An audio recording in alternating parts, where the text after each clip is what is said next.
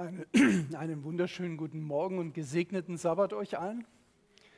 Es ist ein Vorrecht, dass wir hier zusammensitzen dürfen und dass wir Gott anbeten können im Geist und in der Wahrheit. So wie Jesus es sagte, das ist das Merkmal der wahren Anbeter, so sagt er selber zu der Samariterin.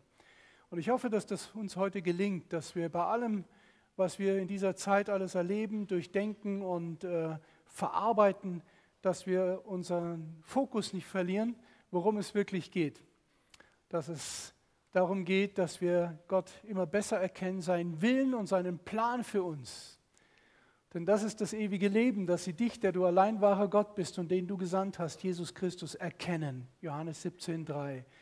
Und wenn ich, wenn wir heute Morgen Gottesdienst zusammen feiern oder die Predigt, die Studium, das gemeinsame Wortstudium gemeinsam erleben, dann ist es mein Wunsch, dass das dazu beiträgt, dass wir das erleben, dass wir dadurch Gott und seinen Plan besser erkennen, mit uns und mit unseren Familien, mit unserer Gemeinde, mit dieser Welt. Der Text, der uns leiten soll durch dieses Studium, gemeinsames Studium, den finden wir in Matthäus 13, 16 und 17. Matthäus 13, 16 und 17. Und ich werde euch heute bis auf dieses Bild hier keine Präsentation heute Morgen zeigen. Denn ich will ganz bewusst das, was wir studieren, ähm, an der Bibel arbeiten. Und da wünsche ich mir so sehr, dass alle, die eine Bibel dabei haben, heute Morgen davon Gebrauch machen. Es ist gut, auch vieles zu sehen, visuell, aber es ist noch besser und tut unseren Gehirnzellen gut, wenn wir selber das Wort aufschlagen und wenn wir darin lesen, was wir hören, so dass es mit allen Sinnen erfasst wird, das Wort Gottes. Und dort in Matthäus 13, Vers 16 und 7, da heißt es, aber selig sind eure Augen, dass sie sehen und eure Ohren, dass sie hören.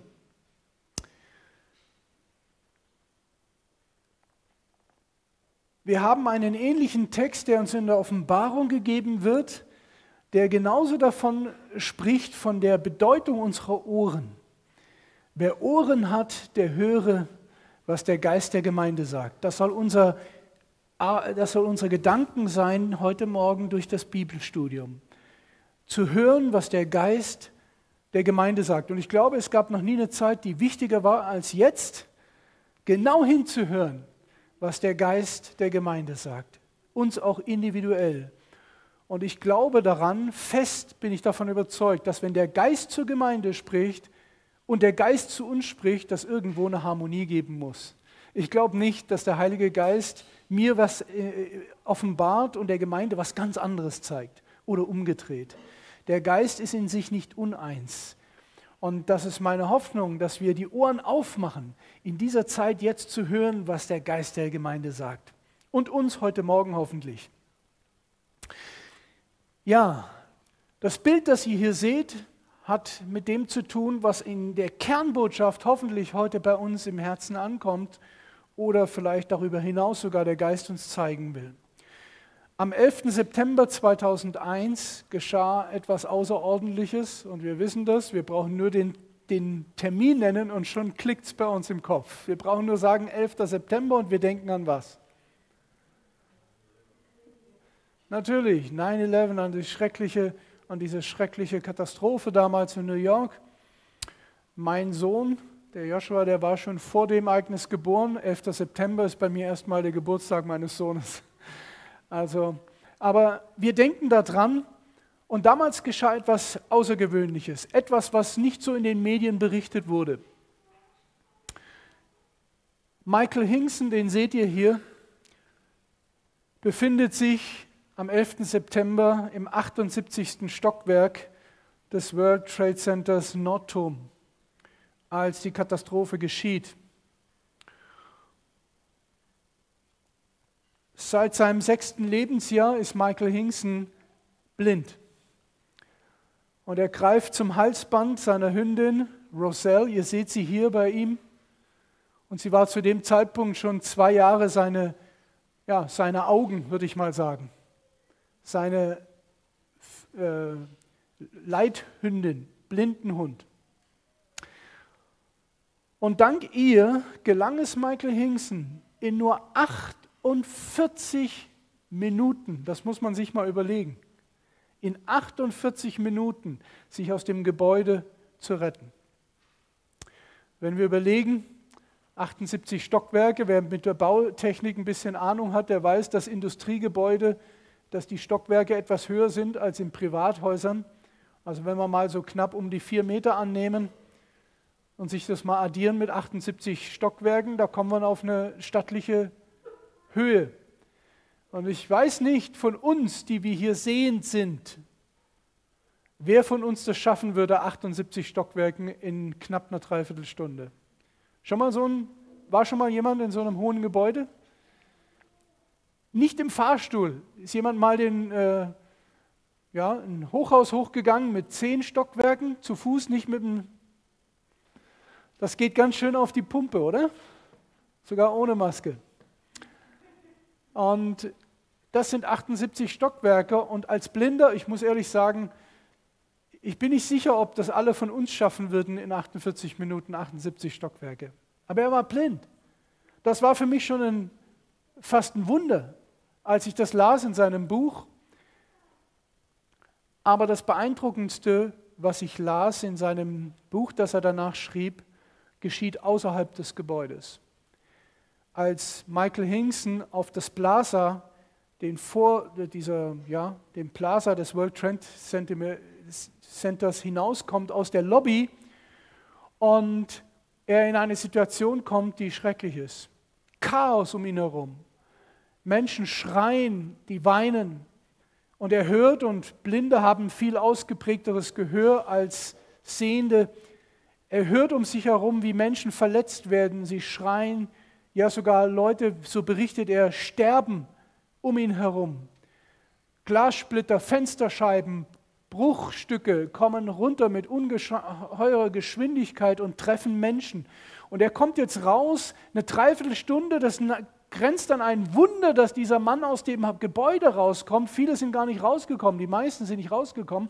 Und als er jetzt auf dem Blaser da draußen um sich herum dieses Chaos hört und dieses, dieses Leid um sich herum hört, hat er nur einen Gedanken, nämlich dass er sterben wird. Und dann schreibt er, ich zitiere mal aus seinem Buch, wir rannten. Und ich dachte, Gott, ich kann nicht glauben, dass du uns aus dem Gebäude gebracht hast, nur damit es auf uns fällt.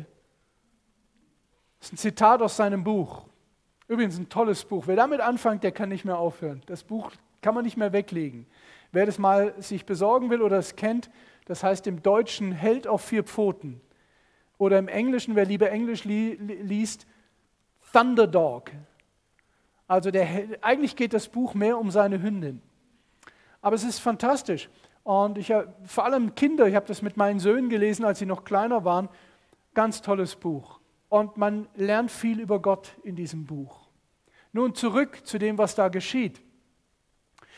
Als er dort jetzt in Panik ist und denkt, er stirbt jetzt und nicht mehr genau weiß, was er tun soll, hört er plötzlich eine kleine leise Stimme, die ihm ganz deutlich zu ihm spricht. So klar, sagt er in seinem Buch, als wenn jemand neben ihm gestanden hat. Und diese Stimme sagte folgendes. Mach dir keine Sorgen über das, was du nicht kontrollieren kannst. Konzentriere dich auf das Vorwärtsgehen mit Roselle. Der Rest erledigt sich von selbst. Zitat Ende. Interessante Aussage, oder? Und er sagt Folgendes. Ich zitiere ihn. Ich hätte diese Stimme ignorieren können. Ich hätte jede Menge Dinge tun können, aber ich tat das, was Gott sagte. Er schreibt in seinem Buch, dass er ganz sicher war, dass Gott ihn an diesem Tag das gesagt hat. Er war vorher nicht ein sehr gläubiger Mensch, und dann sagt er, Roselle und ich haben zusammengearbeitet und wir haben es gut überstanden. Und jetzt macht er genau das, was die Stimme sagt. Die Stimme sagt ihm, mach dir keine Sorgen über das, was du nicht kontrollieren kannst. Konzentriere dich auf das Vorwärtsgehen mit deinem, ich sag jetzt mal, mit deinem Führer. Denn das war Roselle an diesem Tag. Sie war seine Augen. Sie war letztendlich diejenige, die ihn führte. Und das ist beeindruckend. Was für ein Gleichnis, dachte ich mir, als ich das hörte und las. Das erste Mal dachte ich, was für ein Gleichnis für eine blinde Gemeinde. Denn in der Offenbarung lesen wir, am Ende der Geschichte, die letzte Phase vor der Wiederkunft Jesu, spricht Gott zu seinen Gemeinden.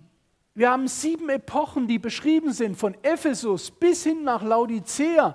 Und die letzte Gemeinde ist diejenige, die die Wiederkunft Jesu erleben wird.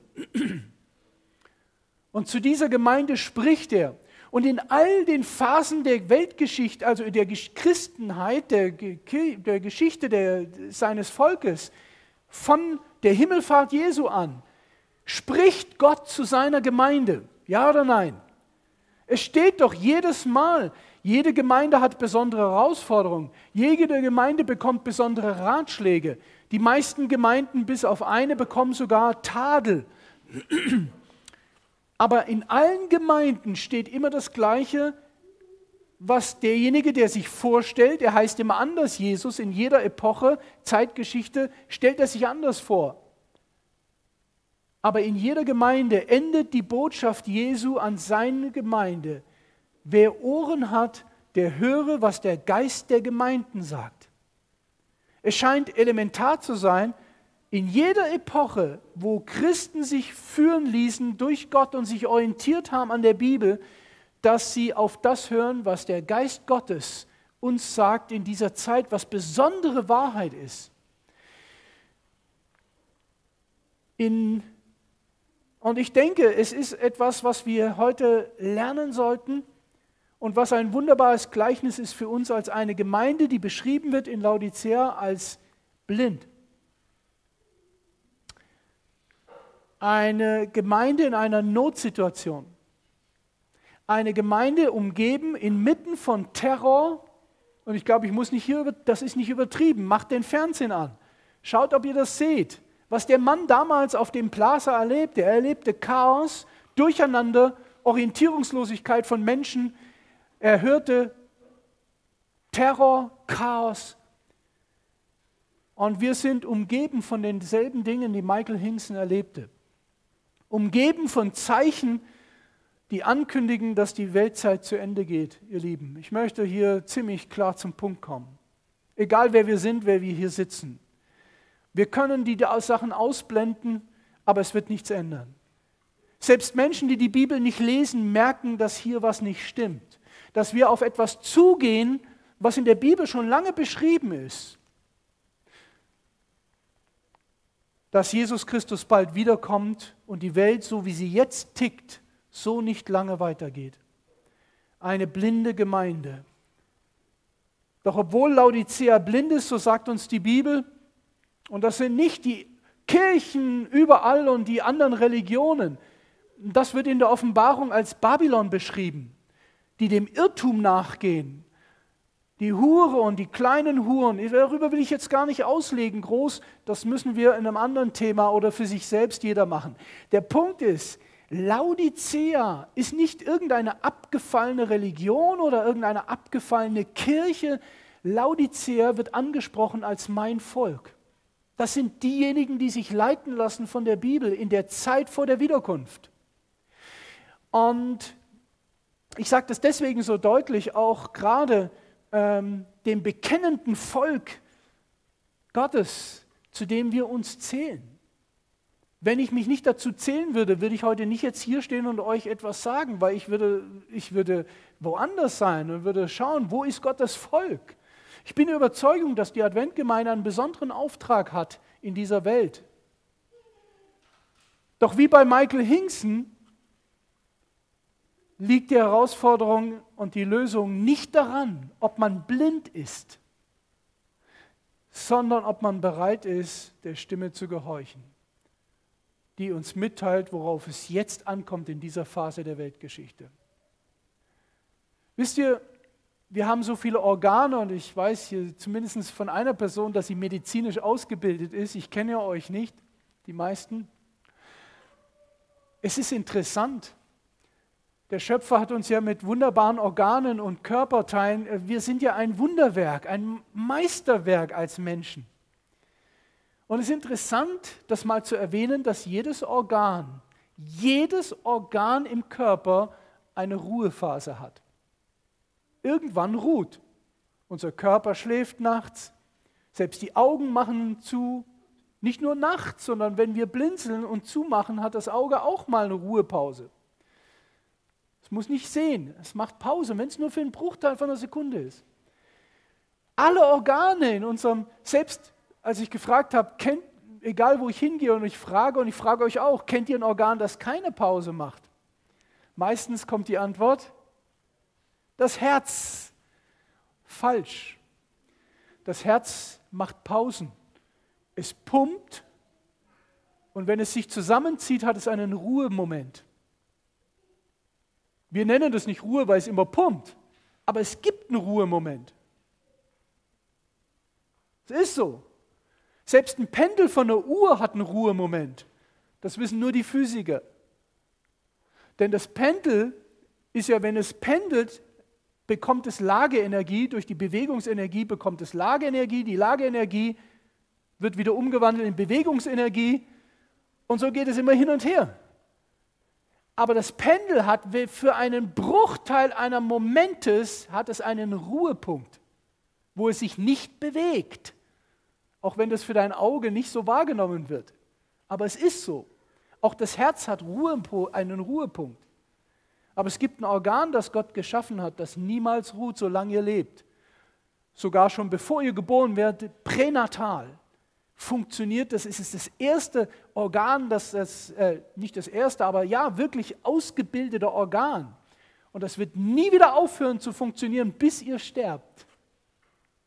Und das ist unser Ohr.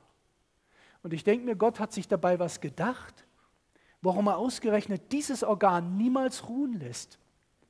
Denn würde es ruhen, zum Beispiel nachts, wenn ihr schlaft, dann würdet ihr den Wecker nicht hören, der morgens klingelt. Aber ihr hört ihn, weil das Ohr wach ist. Euer Gehirn ist runtergefahren. Euer Gehirn ist ja auch in gewisser Weise nie ganz abgeschaltet. Aber es hat Ruhephasen. Aber euer Ohr ist immer da. Und ich denke mir, Gott hat sich dabei was gedacht, warum er das Ohr offen hält. Und er hat uns gleich zwei davon gegeben. Und das ist wichtig, dass wir der, die Stimme hören. In Jesaja 30, Vers 20 gibt es eine Verheißung, die würde ich gerne mit euch lesen. Jesaja 30, 20, 21. Wer die Bibel hat, bitte mit aufschlagen. Ich werfe diese nicht an die Wand. Ich kann jetzt auch schnell das wieder umschalten auf erweitert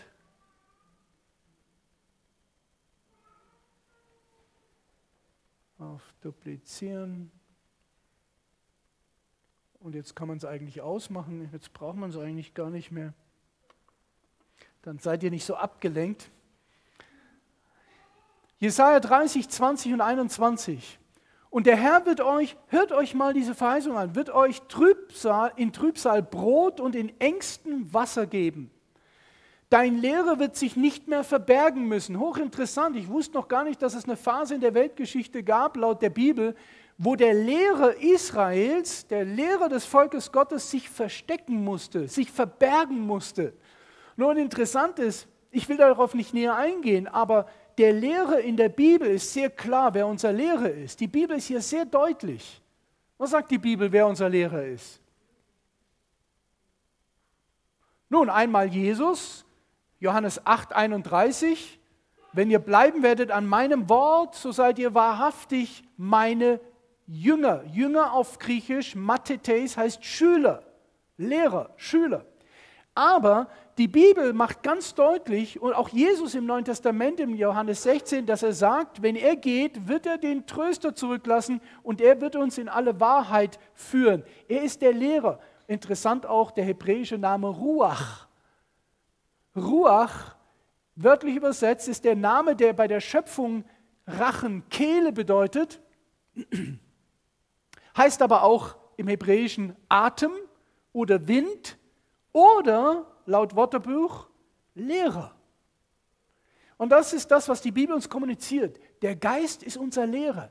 Er führt uns in alle Wahrheit. Und hier heißt es, dass es einen Zeitpunkt geben wird, wo der Lehrer sich nicht mehr verbergen muss. Dann heißt es in 21, deine Ohren werden hinter dir das Wort hören vom Lehrer. Dies ist der Weg, den geht, weder zur rechten noch zur linken. Hochinteressant, oder? Dass der Lehrer, unser, dass Gottes Geist uns den Weg zeigt, den wir gehen sollen. Und zwar in jeder Phase des Lebens, auch dann, wenn wir nicht mehr wissen, was wir genau tun sollen. Und ich hätte mir gewünscht oder wünsche mir so sehr, und ich bete darum persönlich für mich und meine Familie, dass der Heilige Geist, dass Gott uns durch den Geist in dieser Zeitphase, jetzt momentan, genau zeigt, was wir zu tun haben als Familie und individuell. Betest du auch darum? Glaubst du, dass Gott uns auch auf solche banale Fragen Antworten gibt, wie wir uns verhalten sollen in der Öffentlichkeit, in der Gemeinde, privat, egal wo? dass er uns das zeigt? Interessant ist, was die Folge sein wird. Schaut mal, was wird die Folge sein, wenn wir diese Stimme hören? Was wird die Folge sein? 22. Und ihr werdet entweihen eure übersilberten Götzen und eure goldenen Hüllen, eure Bilder, ihr werdet sie wegwerfen wie Unrat und zu ihnen sagen, hinaus. Ist das nicht interessant? Wie plötzlich dadurch, dass wir Gottes Stimme hören, zu Handlungen bereit sind, die wir sonst nicht bereit wären, uns von Dingen zu trennen, die unser Leben beeinträchtigen, uns behindern daran zu wachsen. Gottes Geist lenkt jetzt die Aufmerksamkeit seines Volkes und seiner Kinder auf das, worauf es ankommt in der allerletzten Zeit. Worauf kommt es denn jetzt an? Was ist denn gegenwärtige Wahrheit? Was ist die Wahrheit, die momentan im Vordergrund steht? Bei all den Dingen, die wir lernen und wissen können. Ich glaube, es ist zu erkennen, dass die Zeit und Gottes Abschlusswerk zu Ende gehen. Ich glaube, dass das eine ganz wichtige gegenwärtige Wahrheit ist. Weiß ich das? Ist mein Fokus momentan darauf gerichtet, dass Gottes Werk jetzt zum Ziel kommt, zum Abschluss, dass er kommen kann? Oder ist mein Fokus woanders drauf gerichtet? Ist mein Fokus tatsächlich auf die Wiederkunft ausgerichtet? Und konzentrieren wir uns momentan primär auf das, was der Geist der Gemeinde sagt. Es gibt ja die Verheißung, wer Ohren hat, und damit ist ja nicht das Ohr gemeint, das physische Ohr nur. Denn wir wissen aus der Bibel in Johannes Kapitel 10, als einige der leitenden damaligen äh, ähm, Gelehrten, einige der Juden, sagt die Bibel, der Gelehrten, Pharisäer, zu Jesus kommen in Matthäus, äh, Johannes 10, 22, 23 und sie sagen, sage uns, wir beschwören dich, bist du der Christus? So sage es uns frei heraus. Und was sagt Jesus? Ich habe es euch gesagt, aber ihr wollt nicht glauben. Und dann spricht er davon, wo er sagt, meine Schafe aber hören meine Stimme. Sie hören meine Stimme. Sie hören nicht auf den Mietling, sondern sie folgen mir nach. Und er sagt, ich habe viele Schafe in verschiedenen Stellen und ich werde sie rufen und sie werden mir folgen und es wird eine Herde und ein Hirte sein. Höre ich in dieser Zeit nicht nur die Stimmen im Fernsehen und dessen, was alle möglichen Leute sagen zu mir? Bekannte Freunde, Ratgeber, Ärzte, Medien, da mag vieles Gutes und Wichtiges dabei sein, keine Frage. Aber höre ich in diesen ganzen Stimmen auch Gottes Stimme? Das ist die Frage. Höre ich die? Verstehe ich, was Gott mir zu sagen hat? Jetzt. Denn viele haben begehrt, Vers 17, Matthäus 13, Vers 17, wir haben das vorher nicht gelesen. Das heißt ja, selig sind eure Augen, dass sie sehen und eure Ohren, dass sie hören. Viele, heißt es hier in dem Text, viele haben begehrt, das zu sehen und das zu hören, was ihr hört und haben es nicht gesehen und nicht gehört. Viele haben sich danach gesehnt.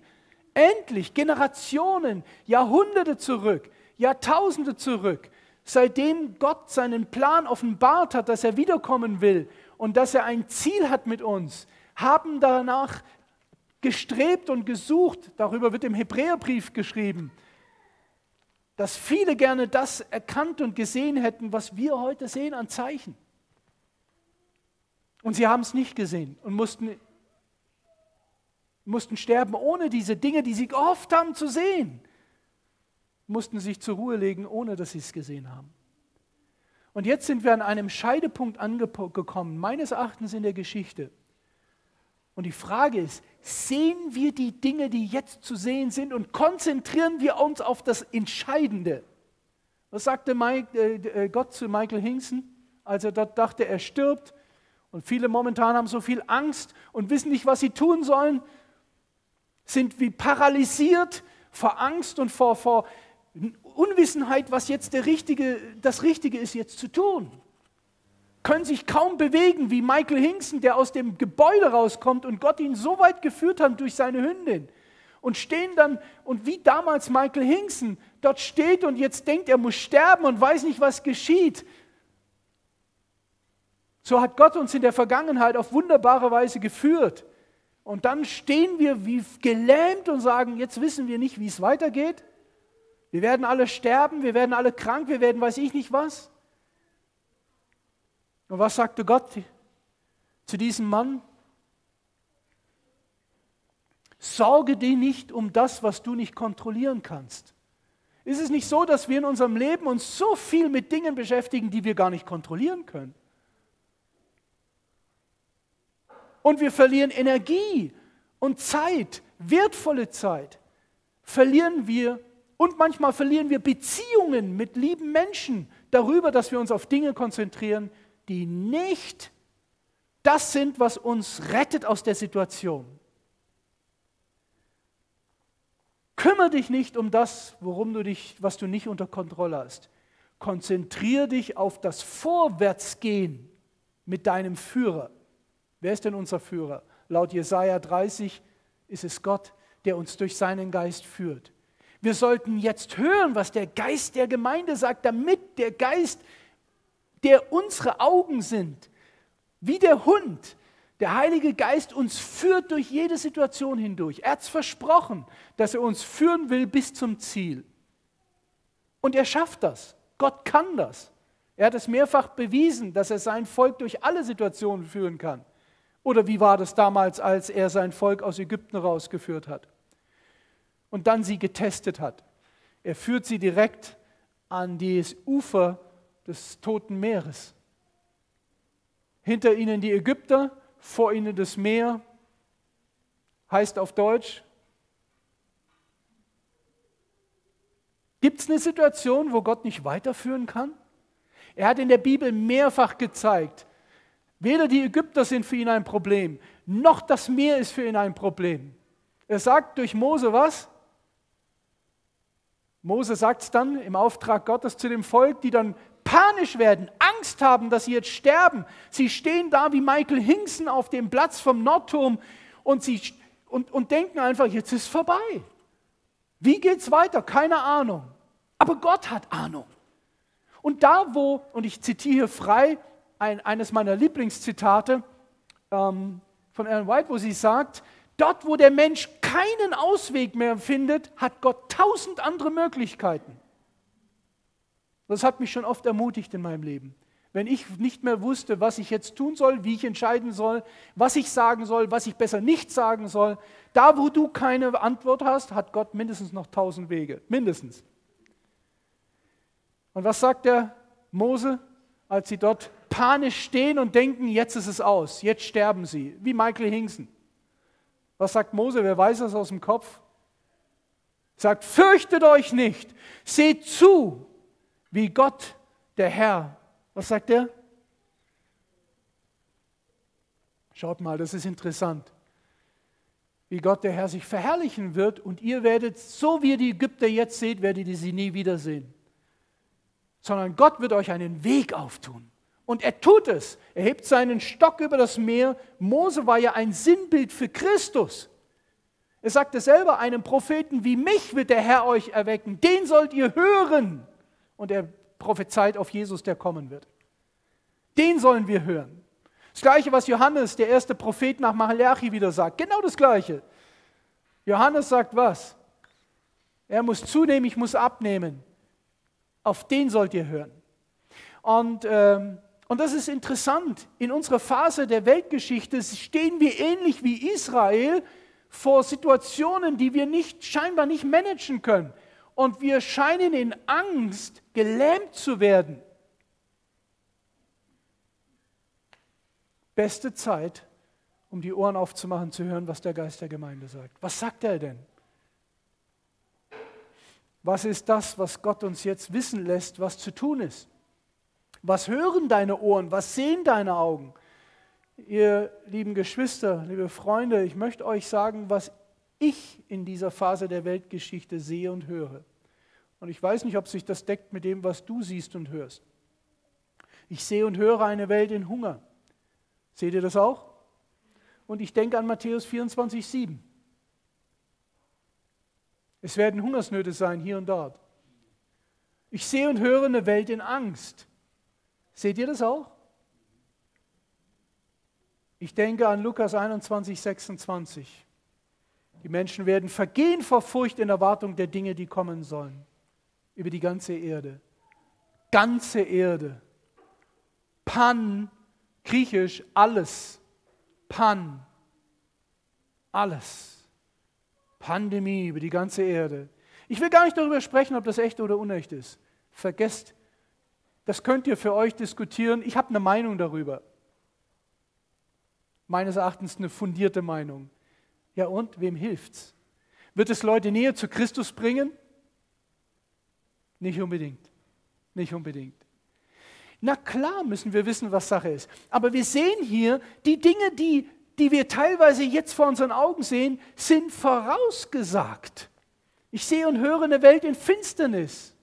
Seht ihr das auch? An was denkt ihr? Ich denke an Jesaja 60,2 vorausgesagt. Denn siehe, Finsternis bedeckt das Erdreich und dunkel die Völker. Oder im Neuen Testament, Johannes 3,19, und die Menschen liebten die Finsternis mehr als das Licht. Seht ihr das auch? Oder bin ich, bin ich, bilde ich mir das ein? Dass Menschen lieber die Finsternis, den Irrtum wählen, als die Wahrheit, das Licht. Ich sehe das. In verschiedenen Bereichen. Vor unseren Augen sehen wir das. Was seht ihr noch? Was hört ihr? Ich sehe und höre eine Welt in Unkenntnis über die Dinge, die über diese Welt kommen. Und ich denke an Offenbarung 3.3. Du wirst nicht wissen, zu welcher Stunde ich über dich kommen werde. Unkenntnis. Haben wir ja schon gestern Abend äh, an dem Thema gehabt. Erster Punkt, den ich zu überwinden habe als Hürde auf dem Weg zur Wahrheit, ist was? Informationsmangel. Unkenntnis. Was, was sagte Gott in einer Phase, wo es finster wurde in dem Volk, äh, zu Zeiten des Volkes Gottes in Israel im Alten Testament. Hosea 4. Mein Volk ist dahin, sagt Luther, weil es ohne Erkenntnis ist. Unkenntnis führt in Verderben. Sehen wir das, dass eine Welt in Unkenntnis ist, trotz der ganzen Technologie? War ja ein Stück weit unser Thema. Wir ersticken in Nachrichten als ob es ein Plan wäre, uns zu ersticken in Nachrichten, damit wir das Wahre vom Falschen nicht so einfach raussortieren können. Ja, wir sehen das. Und ich möchte nur daran erinnern, ich sehe und höre eine Welt in Chaos und Konflikten. Seht ihr das auch? Und ich habe noch nicht mal ein Fernsehen und ich sehe es trotzdem. Und ich denke an Lukas 21, 10.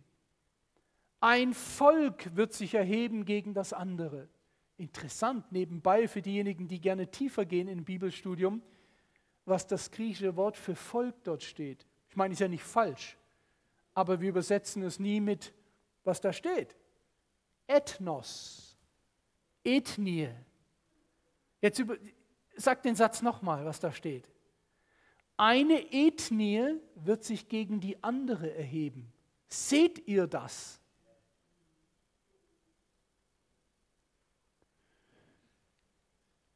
Wer Ohren hat, der hört, was der Geist der Gemeinde sagt. Und ich glaube, der Geist möchte unseren Fokus jetzt darauf richten, dass wir entdecken, Gott weiß das schon lange. Er hat einen Plan. Er hat einen Plan, wie er uns aus Chaos, Finsternis, Unkenntnis, aus Katastrophe und Terror, aus Bedrängnis, aus Todesgefahr herausführen will, wie Michael Hinkson 2001 am 11. September. Aber nur unter einer Voraussetzung, und das habe ich gelernt von diesem Mann, der kein Augenlicht hat. Es geht nicht darum, dass die Gemeinde blind ist in Laodicea, sondern ob sie bereit ist zu hören. Ich glaube, wir haben nur eine Möglichkeit jetzt, durchzukommen durch das, was nicht nur jetzt ist, sondern was noch kommen wird. Und das wird das bei weitem übertreffen, was wir jetzt erleben.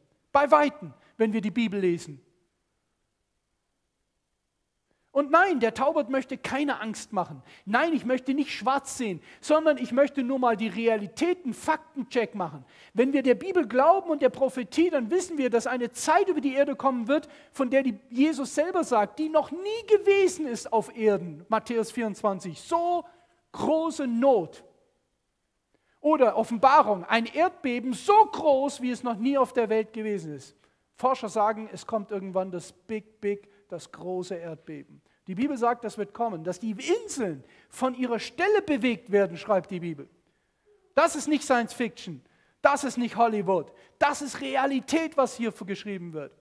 Oder Daniel 12, Vers 1, wo eine Zeit sein wird, wo Michael sich aufmachen wird und wird sein Volk befreien, wo es unter Todesbedrohung ist. Offenbarung 13, wo steht, dass die Gläubigen, die Gott treu sein wollen und seine Gebote halten wollen, werden mit einem Todesgesetz, einem Todesdekret belegt. Das ist alles, was die Bibel schreibt. Das heißt, vor uns liegt noch viel mehr, als wir jetzt ahnen durch Viren oder sonst irgendwas. Aber Gott kann uns da durchführen. Darum geht's. Aber nur unter einer Voraussetzung, ihr Lieben. Nur unter einer einzigen Voraussetzung kann Gott uns durch alles, was kommt, seien es Ägypter, seien es ein Meer, das man nicht durchqueren kann, seien es Plagen, seien es weiß ich nicht was. Durch die Wüste laufen 40 Jahre ohne, ohne einen Supermarkt und ohne einen Friseur und ohne einen HM und äh, CA, wo wir uns einkleiden können. Gott kann uns durchführen. Wie heißt es in der Bibel? Von denen, die durch die Wüste wanderten 40 Jahre, ihre Kleider und ihre Schuhe nutzten sich nicht ab. 40 Jahre lang. Brauchten sie einen Supermarkt? Gott hat ihnen immer das gegeben, was sie brauchten. Es hat ihnen am Anfang nicht gepasst, aber es war das, was sie brauchten. Nicht immer das, was wir bekommen, ist das, was wir wollen von Gott, aber ist das, was gut für uns ist. Habt ihr übrigens gewusst, oh, das wäre eine Geschichte für sich, ich kann die nicht erzählen, weil ich kämpfe immer ein bisschen mit der Zeit. Irgendwie ist die Zeit gegen mich, ich weiß nicht warum, aber das wird sich ändern bald bei der Wiederkunft. Ähm, habt ihr gewusst, dass in Angola seit 1900 in den 70er Jahren Manna fällt in ein Dorf, in, auf eine adventistische Missionsstation? Gibt es eine Dokumentation? Wer nicht, nicht glaubt, fahrt hin nach Angola, holt euch ein Ticket, fahrt hin. Ich kann die Geschichte jetzt nicht erzählen. Seit Jahrzehnten fällt dort Manna immer an zwei Tagen der Woche. Und es hat angefangen, als eine Hungersnot dort war. Und Gott hat sich aus irgendeinem Grund entschieden, dass er das beibehält. Irgendwann war das Manna weg.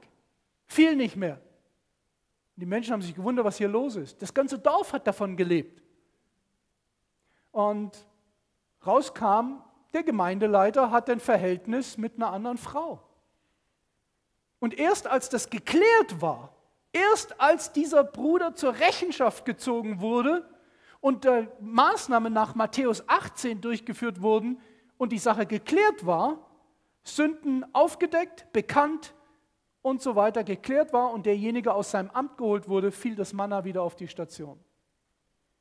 Und ich habe mich gefragt, Menschenskinder, Manchmal reiben wir mit menschlicher Kraft uns auf, dass die Gemeinde wächst, dass sie gesund ist und so weiter und ahnen nicht, dass es verborgene Sünden der Glieder manchmal sind, die verhindern, dass das Manna bei uns fällt. Aber das ist eine andere Geschichte. Es ist so wichtig, dass wir jetzt nicht so sehr darauf hören, was die Masse sagt, was der andere sagt, was der Spezialist sagt, egal wie die heißen, das ist mir wurscht. Ich habe eine Meinung, keine Frage, die will ich hier nicht kundtun über das, was gerade geschieht.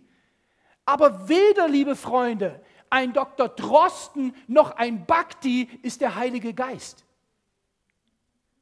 Das sind Menschen, die fehlbar sind. Beide. Ich habe dazu meine Meinung, klar.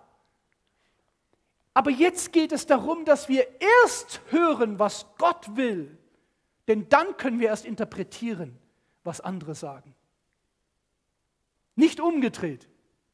Und das ist so wichtig. Was sehe ich, was höre ich noch? Ich weiß nicht, was ihr noch seht und hört. Es heißt ja in Matthäus äh, 13, steht doch, selig sind eure Augen, dass sie sehen und eure Ohren, dass sie hören. Selig übrigens für diejenigen, die Lutherdeutsch nicht verstehen, im Griechischen steht da Makarios. Wörtlich übersetzt, glücklich.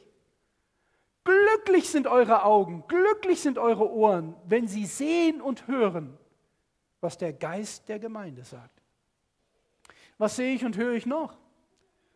Ich sehe und höre einen Medienbericht über eine Universität und eine Highschool in Amerika. Menschen, Studenten, Lehrer prozessieren über ein Schulgelände. Ich habe das Video mir runtergeladen. Mit Plakaten in den Händen. Und auf einem Plakat steht drauf, übersetzt, schließ dich dem Kampf an. Schwarze sind von Bedeutung. Auf einem anderen liest man Friedensmarsch und dahinter eine geballte schwarze Faust. Nach dem Motto, entweder du hast mit mir Frieden oder ich hau dir die Nase platte. Und es sind nicht nur Nicht-Adventisten auf dieser Uni, sondern ich entdecke plötzlich Leute, die mich zum Teil unterrichtet haben, die die Plakate tragen. Sie halten Ansprachen und rufen gemeinsam zur Gerechtigkeit auf für Schwarze, für Frauen, Immigranten, Schwule und alle möglichen Unterdrückten. Ich sehe, ich höre und ich denke an Römer 11, Vers 8. Wie geschrieben steht, und hier zitiert Paulus Jesaja 29, 10, ohne den man das Zitat gar nicht verstehen kann, ohne den Jesaja-Text. Gott hat ihnen einen Geist der Betäubung gegeben, Augen, dass sie nicht sehen und Ohren, dass sie nicht hören. Ja, das stimmt doch für die Welt. Die ticken doch nicht richtig. Die checken nicht, was los ist. Die Weltmenschen, die Evolutionisten, die Atheisten und die Christen, die verwirrt sind und getäuscht sind. Aber das trifft nicht auf uns zu. Dieser Text nicht. Das dachten die Israeliten auch mal. Wir haben gesagt zu Jesus in, in Römer 9, ja, sind wir denn auch blind, als Jesus über die Blindheit sprach? Sie fragten, ja, sind wir auch blind? Das war keine ernste Frage. Sie wollten ihn testen, sie wollten ihn in die Ecke treiben mit dieser Frage. Ja, sind wir denn, wir als Schriftgelehrte, wir, die das Volk unterrichten, ja, sind wir denn auch blind? Und Jesus sagt, wärt ihr blind, hättet ihr keine Sünde. Weil ihr aber sagt, dass ihr sehend seid, deswegen bleibt eure Sünde. Kann es sein, dass wir manchmal in einer ähnlichen Situation sind? Kann es sein, dass wir manchmal glauben, wir sind sehend und wir sind so stockblind, geistlich? Den Text kann man nicht wirklich verstehen, ohne Jesaja 29, 10 gelesen zu haben, denn das ist ein Zitat von Paulus. Er zitiert das Alte Testament. Was meint er, dass er sagt, Gott hat ihnen einen Geist der Betäubung gegeben, Augen, dass sie nicht sehen, Ohren, dass sie nicht hören? Schauen wir Jesaja, was da steht. Da ist die Auslegung. Denn der Herr hat über euch einen Geist des tiefen Schlafs ausgegossen und eure Augen und Ohren zugetan. Was sind denn die Augen und Ohren des Volkes Gottes? Schaut, was da steht. Die Propheten, eure Häupter, eure Seher hat er verhüllt. Eure Augen hat er verhüllt, eure Ohren zugemacht die Prophetie. Ist es nicht, dass Amos 3,7 sagt, der Herr, Gott, der Herr tut nichts, wie viel? nichts, er sage es denn zuvor seinen Knechten, den Propheten. Steht es da oder nicht? Wie viel tut Gott in der Geschichte, ohne es vorher seinen Propheten zu offenbaren? Wie viel sagt die Bibel? Nichts. Glaubt ihr, dass Gott nichts uns offenbart hat, der voraussieht, dass diese Dinge kommen, die geschehen jetzt und in der Zukunft? Glaubt ihr, dass in der Prophetie nicht irgendwo was steht als Antwort darauf, wie wir uns zu verhalten und was wir zu denken und zu tun haben? Das kann ich mir nicht vorstellen. Dass Gott uns in die Zukunft laufen lässt, ohne uns zu zeigen, was wir denken, tun, was wir glauben, worauf wir uns fokussieren sollen, was unser Auftrag ist, was nicht unser Auftrag ist. Es kann nicht sein, dass Gott uns hier im Stich lässt. Es kann nicht sein. Er sagt, ich sehe, ich bin bei euch alle Tage bis an der Weltende aber ich mache nichts. Ihr lauft einfach mal und, und schauen wir mal, wohin ihr geht. Nein, die Augen und die Ohren in der Bibel sind die Prophetie. Das ist die Propheten, das sind Gottes prophetische Botschaften, die er uns gegeben hat. Liebe Geschwister, es ist jetzt Zeit zu hören und zu sehen, was der Geist der Gemeinde sagt. Oder auch, man könnte auch sagen, der Geist der Weissagung und nicht mit den Meinungen und Geistesströmungen der Zeit dahin zu treiben. Leute, da ist viel Wahrheit in vielem, was ihr hört und seht. Aber viel Wahrheit muss nicht bedeuten viel Erkenntnis. Wir sind als Volk Gottes nicht dazu berufen, hinter den politisch aufgewühlten Massen hinterherzulaufen. Ich sage das hier als Bekenntnis, als Statement. Denn wenn das so wäre, ihr Lieben, ich weiß, dass ich jetzt provoziere und dass ich vielleicht, vielleicht einige Freunde verliere, die hier mir vielleicht für die Vorträge wohlgesonnen oder weniger wohlgesonnen sind. Aber was soll ich tun, anders als zu sagen, was die Wahrheit ist? Wenn das so wäre, dass Protest unser Kerngeschäft wäre als Christen, wenn das so wäre, wo sind dann unsere Proteste gegen Abtreibung? Wo sind unsere Proteste gegen Kindesmissbrauch, gegen Hunger, Verfolgung chinesischer Christen, Massaker in afrikanischen äh, äh, Bundesländern, äh, wie jetzt momentan ein Riesenmassaker in, in, in Nigeria durch Boko Haram und andere? Wo ist unser Protest dann gegen Drogenmissbrauch, wo sind unsere Banner und unsere ganzen Dinge, die wir äh, durch, mit den Straßen ziehen, gegen korrupte Massenmedien? Und ich könnte jetzt weitermachen. Liebe Leute, wenn Protest unsere Kernanliegen wäre, was wir jetzt zu tun haben, würden wir nicht mehr fertig werden mit Protestieren und keiner würde was über das Evangelium erfahren. Ich sage euch, ich frage mich, was ist das, was Gott will, dass wir jetzt tun? Und ich wünschte mir, liebe Brüder und Schwestern, wer immer das jetzt hört, egal in welcher, welcher Position er ist, ich wünschte mir, wir hätten schon vor Monaten angefangen, Gruppen zu bilden, Gebetsgruppen in den Gemeinden, in den Familien, Hausgemeinden, in den Vereinigungen, Unionen, in den Generalkonferenzen, Gruppen, Gebetsgruppen gebildet, die darum bitten, dass Gott uns genau sagt, was wir zu tun haben. Denn ich glaube daran, dass der Heilige Geist uns eine Antwort hat, wie wir uns verhalten sollen, was wir reden sollen, was wir nicht sagen sollen. Bin ich ganz sicher. Gott hat hier ein Konzept. Der hat einen Notstands-, Notsituationsplan oder wie heißen diese Dinge? Notmanagementplan oder wer auch immer. Habe ich in letzter Zeit öfters gelesen und Dokumente mir angeschaut. Gott hat einen. Nein, Geschwister, wir sind nicht dazu berufen, gegen irgendeine politische Ungerechtigkeit und Korruption zu protestieren. Und ich möchte euch begründen, warum. Ich glaube auch nicht, dass das ist, was der Geist der Gemeinde heute lehrt. Proteste und Kampfparolen und Fäuste. Das kann nicht die Stimme des Geistes Gottes sein. Wäre sozialpolitischer Protest unser Weg, würden wir damit nicht mehr fertig werden. Warum? Weil die Bibel sagte, Matthäus 24, Vers 12, könnt ihr gerne mit aufschlagen, weil die Gesetzlosigkeit, Luther übersetzt mit Ungerechtigkeit, überhand nehmen wird. Sehen wir das oder nicht? Sehen wir das, dass das immer mehr wird, immer mehr Ungerechtigkeit? Selbst der Staat bricht seine eigenen Gesetze teilweise. Ja oder nein? Klar, man muss blind sein, um das nicht zu sehen.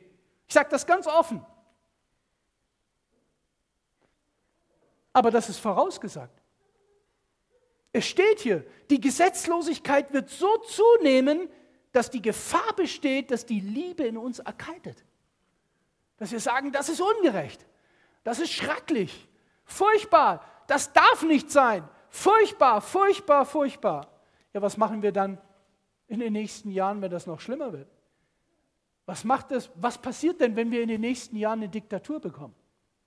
Wir haben ja jetzt schon in bestimmten Bereichen eine Diktatur, in den Medien. Es gibt eine Mediendiktatur. Wenn du was anderes sagst, wir betreiben einen alternativen Kanal. Alternative Medien. Was passiert denn, wenn du was anderes sagst? Bumm, du wirst abgeschalten. Uns haben sie als Medienministry, haben sie Vimeo unsere 1500 Videos gelöscht. Ohne Ankündigung, bub, weg. Über Nacht waren die weg. Begründung, das entspricht, nicht unseren Regeln.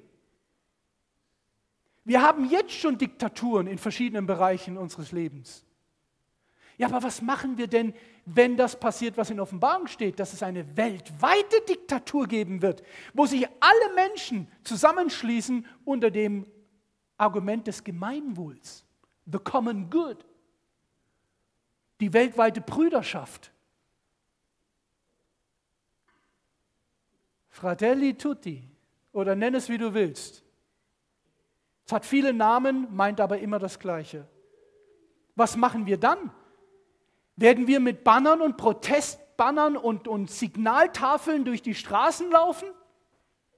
Was geschah in Babylon?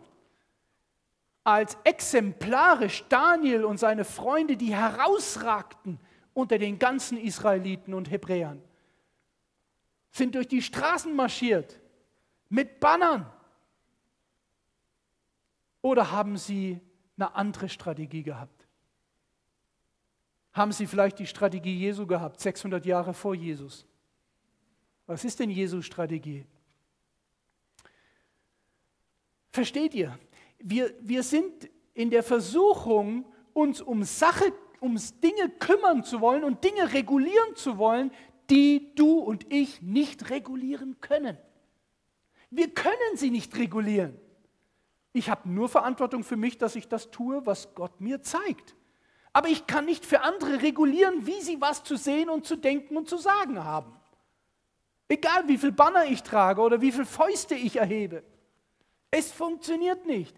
Egal wie oft ich schraue, schreie Gerechtigkeit und Frieden. Wird dadurch die Welt mehr Frieden bekommen? Was sagt Jesus? Was wird er finden, wenn der Menschensohn kommen wird? Matthäus 24. Wird er Glauben finden auf Erden, wenn er wiederkommt, der Menschensohn? Die Bibel sagt, nein, Jesus sagt das selbst, er wird keinen Glauben finden. Wird er Frieden finden, dass alle sich in die Hände klatschen und sagen, jetzt haben wir Frieden? Nein, das ist eine Prophezeiung, dass das geschehen wird, aber Paulus warnt und sagt, wenn sie das sagen werden, wird sie das Verderben übereilen wie, eine, wie die Wehen einer Schwangere. Und jetzt sage ich was, was mich wahrscheinlich sehr unsympathisch für viele macht. Ich glaube, dass es einen satanischen Plan gibt,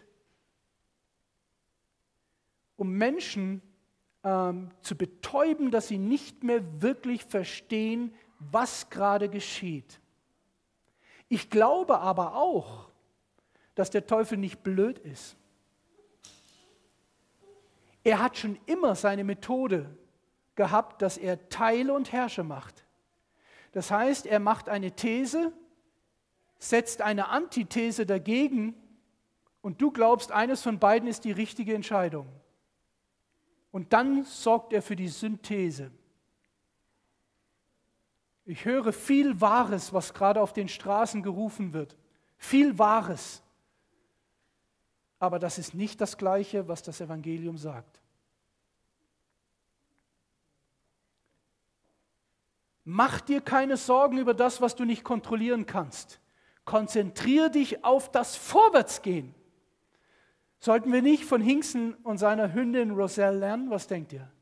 Kann man daraus was lernen? Ihr wisst gar nicht, wie oft ich in den letzten Jahren dieses Zitat, was Gott dem Mann gesagt hat, auf dem Platz, wie oft, ich, wie oft mich dieser Satz aus Situationen herausgeholt hat, wo ich nicht wusste, wie es weitergeht.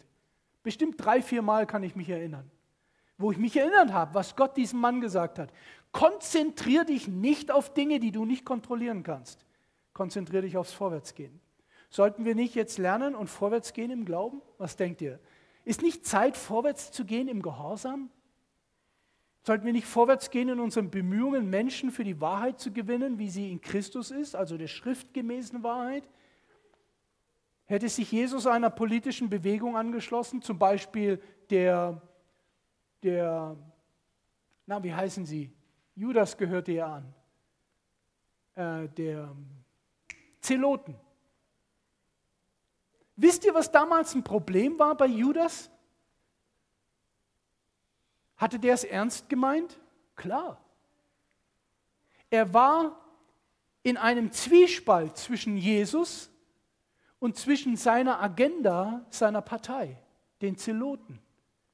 Und er hat, statt Jesus nachzufolgen und ihn als Führer zu nehmen, wollte er Jesus missbrauchen für seine politische Agenda, den Römern eine Klatsche zu geben.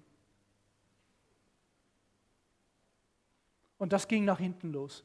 Man kann Gott nicht gebrauchen, um ein politisches Ziel zu verfolgen. Das geht nicht.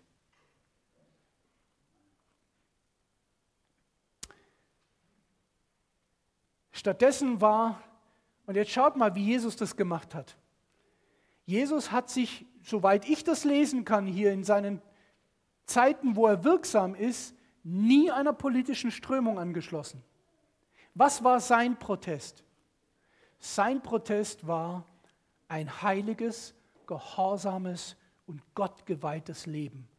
Das war der Protest. Und das geht tiefer als Plakate. Wie sollen wir uns jetzt also verhalten im Jahr 2020, 2021? Wegschauen, ignorieren, eine Partei gründen, vielleicht so eine moderne Zelotenpartei? Hört mal ein Wort aus inspirierter Feder. Ich lese aus das Leben Jesu 503. Die Regierung, unter der Jesus lebte, war korrupt und diktatorisch. Überall gab es schreiendes Unrecht wie Erpressung, Unduldsamkeit und bedrückende Härte. Der Heiland wollte jedoch keineswegs das bürgerliche Leben reformieren. Er griff weder die nationalen Missbräuche an, noch verurteilte er die Feinde seiner Nation. Er mischte sich auch nicht in die Herrschaft oder Verwaltung von Machthabern ein. Interessantes Zitat, oder? Was sagt die Bibel, würde Jesus nicht tun? Da kriege ich Gänsehaut, wenn ich das lese, diese Weissagung auf Jesu Leben. Schlagt mal mit mir Jesaja 42 auf, Vers 1 und 2. Eine Vorhersage auf Jesus, bevor 700 Jahre bevor er kam. Seid ihr in Jesaja 42? Ich möchte, dass ihr es selber lest. Nicht nur mir zuhört. Schaut mal, siehe, das ist mein Knecht. Weissagung auf Jesus. Ich halte ihn und mein Auserwählter, an dem meine Seele wohlgefallen hat. Bevor ich weiterlese, wisst ihr, dass alles, was von Jesus hier steht, genau eins zu eins auf uns anwendbar, sind, anwendbar ist? Sind wir Knechte Gottes? Ich hoffe doch. Hält uns Gott in seiner Hand? Ich hoffe doch, dass du das glaubst. Bin ich auserwählt? Jetzt wird es vielleicht ein bisschen schwieriger. Bist du auserwählt? 1. Petrus 2, Vers 9. Ihr seid das auserwählte Geschlecht, eine königliche Priesterschaft, ein, eine Volk des Eigentums, damit ihr verkündigen sollt die Wohltaten dessen, der euch berufen hat von der Finsternis zu seinem Licht. Sind wir berufen? Modernes Priestertum? Bist du und ich berufen, Knechte zu sein? Ja, wir sind sogar Botschafter an Christi Stadt, sagt Paulus. Wisst ihr, was ich gemacht habe, als ich gebetet, als ich, bevor ich weggefahren bin hier in die Schweiz? Da gibt es ja alle möglichen Sachen, die passieren können und die man immer wieder, ach, diese Gespräche und ich bekenne das, ich bin ein überzeugter Nicht-Maskenträger. Aber ich verurteile niemand, der sie trägt. Es ist seine Entscheidung. Aber ich weiß, wenn ich auf Reisen gehe, werde ich verschiedene Dinge erleben, die immer eine Herausforderung sind. Gespräche, Rechtfertigungen, dieses, das. Was ich mache, ist folgendes. Ich bin hierher gefahren, bin vorher auf die Knie, habe gesagt, lieber Gott, du sagst, ich bin Botschafter an Christi Stadt. Ich gehe an deine Stelle, ich mache keinen Urlaub in St. Gallen, ich fahre da nicht hin, um eine Shoppingtour zu machen, ich fahre dahin, um dir zu dienen und den Menschen zu dienen. Ich verstehe mich als Botschafter an Christi Stadt. Also bitte sorge dafür, dass ich einen Diplomatenstatus habe. Und ich fahre und tanke und ich gehe rein, überzeugt und freudig und ich habe tolle Gespräche mit den Leuten. Und die Leute sind dankbar, dass sie mal ein Gespräch haben, wo sie sagen, Mensch, oh, der versteht mich. Ich fahre an die Grenze und die Leute gucken mich an und winken mich nur durch. Das heißt, ich glaube fest, dass wenn wir Knechte Gottes sind, Gott uns ohne Parolen, ohne Streit, ohne Diskussion, ohne große Auseinandersetzung, ohne Zwiespalt uns individuell so führen kann, wie er es möchte. Das heißt nicht, dass er jeden so genau führt, wie er mich führt. Vielleicht macht das mit dem Bruder und der Schwester ein bisschen anders. Aber wichtig ist, dass wir glauben, dass wir Knechte sind und das, was hier steht in Jesaja 42, für uns auch gilt. Wir sind auch Erwählte. Jetzt lesen wir weiter. Und hoffentlich hat seine Seele an mir wohlgefallen. Ich habe ihm meinen Geist gegeben. Hat Gott uns seinen Geist gegeben? Ja oder nein? Aber ganz klar, in der Bibel steht das ganz deutlich. Gott gibt uns seinen Geist, den Tröster. Pfingsten. Es ist vorausgesagt vor der Wiederkunft, dass es ein zweites Pfingsten geben wird. Ausgießung des Geistes über alles Fleisch. Joel Kapitel 3, Vers 1 bis 4. ich habe ihm meinen Geist gegeben. Er wird das Recht unter die Heiden bringen. Ist das unsere Aufgabe? Das Recht Gottes unter die Heiden zu bringen? Matthäus 28, 18 bis 20. Mir ist gegeben alle Gewalt im Himmel und auf Erden. Darum geht hin in alle Welt, macht zu Jüngern alle Völker, Nationen und Sprachen, tauft sie auf den Namen des Vaters, des Sohnes und des Heiligen Geistes und lehrt sie alles, was ich euch äh, befohlen habe. Und siehe, ich bin bei euch bis an der Weltende. Sind wir beauftragt, das Recht unter die Heiden zu bringen? Ja, alles, was hier über Jesus vorausgesagt wird, trifft auf uns zu. Dann muss auch das Letzte auf uns zutreffen, oder? Er wird nicht schreien noch rufen und seine Stimme wird man nicht auf den Gassen hören. Ja, er war Wanderprediger, aber er war kein Schreihals, der mit Plakaten durch Galiläa gerannt ist. Das war Jesus nicht. Das steht hier, ist eine Weissagung. Denn warum? Ich lese weiter aus dem Zitat von Leben Jesu 503. Er, unser Vorbild, Glaubst du, dass er unser Vorbild ist? In allen Dingen? In allen? Wirklich in allen? Er, unser Vorbild, hielt sich irdischer Herrschaft fern, nicht etwa, weil er gegenüber den Nöten der Menschen gleichgültig gewesen wäre, sondern weil menschliche und rein äußerliche Maßnahmen hier nicht helfen konnten. Um wirksam sein zu können, musste der Heilungsprozess sich auf den Einzelnen erstrecken und dessen Herz erneuern. Und das bezweifle ich, dass das gerade passiert. Aber wir sollten klug sein. Tausende und Zehntausende in Deutschland und wahrscheinlich in der Schweiz ähnlich, aber ich kann von Deutschland reden, sind auf den Straßen und suchen nach Wahrheit. Und sie haben Täuschung satt. Es gab noch nie eine bessere Gelegenheit für uns, das zu tun, wozu wir beauftragt sind. Die Menschen zu suchen und ihnen den Weg zu zeigen, den die Bibel als Wahrheit definiert. Heißt das, dass wir uns anschließen im Schrein und im Plakate halten? Nein. Aber wir nützen die Situationen, um Menschen weiterzuführen, denn das sind Leute, die meinen es ernst. Die verstehen die Sachen nach ihrem besten Verständnis. Und sie brauchen Hilfe. Sie müssen verstehen, ist Frieden was Falsches, das zu rufen, Frieden? Kommt drauf an. Frieden, wie Jesus ihn meint. Meinen Frieden gebe ich euch nicht, wie die Welt ihn gibt. Sicherheit, Freiheit, sind das schlechte Dinge? Nein, wenn sie nach biblischer Definition gemeint sind. Denn die Freiheit, was Menschen sich darunter vorstellen, und die Freiheit, wie sie die Bibel definiert, sind zwei verschiedene Paar Schuhe. Ich habe Leute getroffen, die sagen mir, die haben sich so vorgestellt, hallo, mein Name ist Gudrun, ich bin Freidenkerin. Freidenkerin. Was heißt das? Freidenkerin.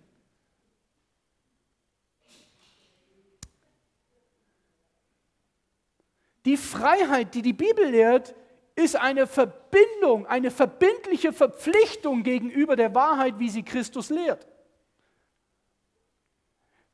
Deswegen sagt Paulus, wem ihr euch zu Knechten macht, dem müsst ihr gehorchen. Sei es der Ungerechtigkeit zur Sünde, also der Sünde zum Tode, oder dem Gehorsam zur Gerechtigkeit. Gibt es da eine Freiheit zwischendrin? Freidenken? Die Bibel sagt, ich bin entweder Sklave meiner selbst und der Sünde oder ich bin Knecht Gottes. In der Freiheit, die Gott mir gibt, durch das, dass ich Knecht bin.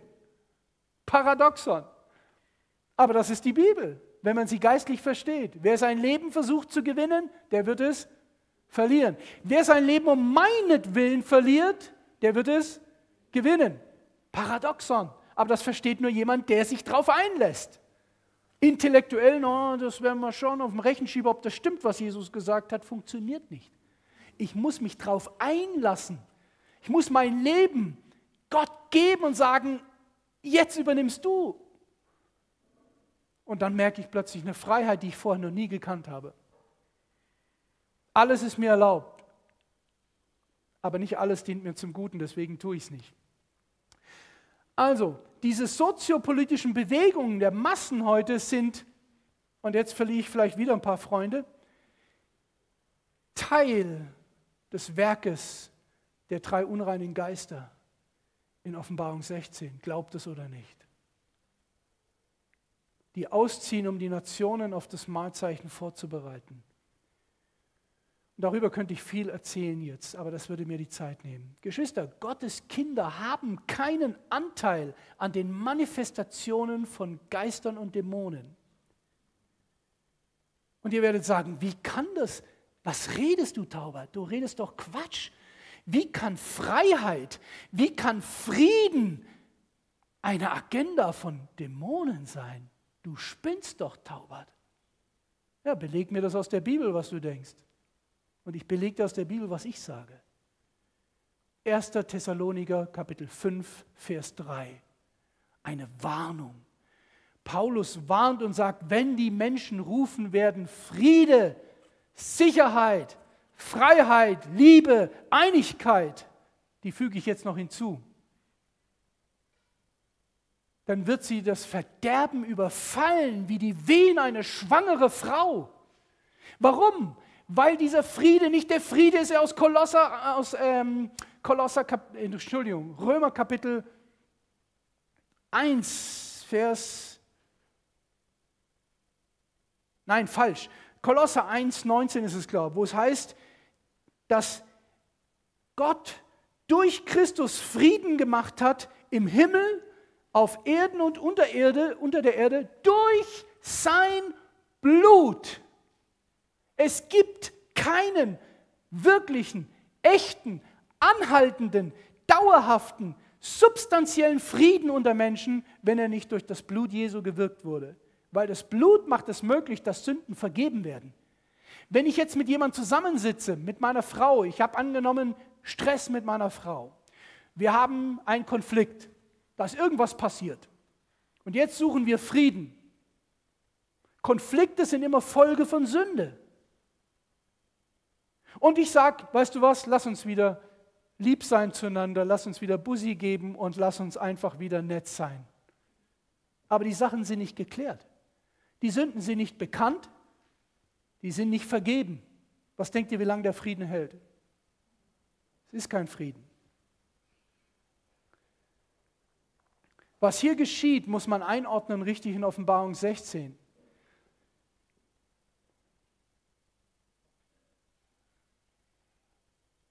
Was ist der einzige Weg? Und ich komme zu meinem eigentlichen Punkt. und in die Schlussgerade. Was ist der einzige Weg, was wir jetzt tun können? Ich habe lange darüber nachgedacht. Was ist das, was wir jetzt wirklich substanziell tun können in dieser Welt, in dieser Phase der Weltgeschichte und in der kommenden Phase, was immer kommen mag? Ich zitiere weiter in dem Zitat aus Leben Jesu 503.